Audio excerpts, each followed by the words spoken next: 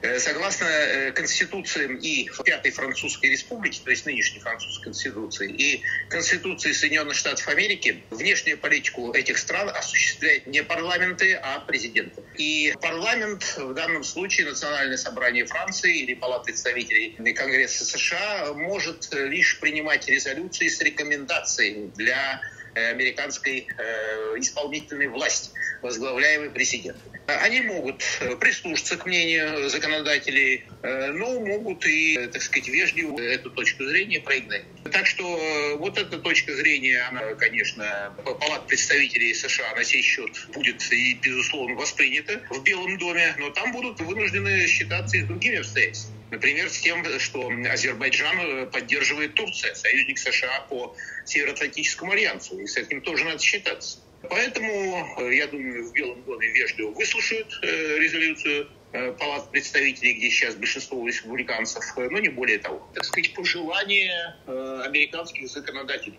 к исполнительной власти.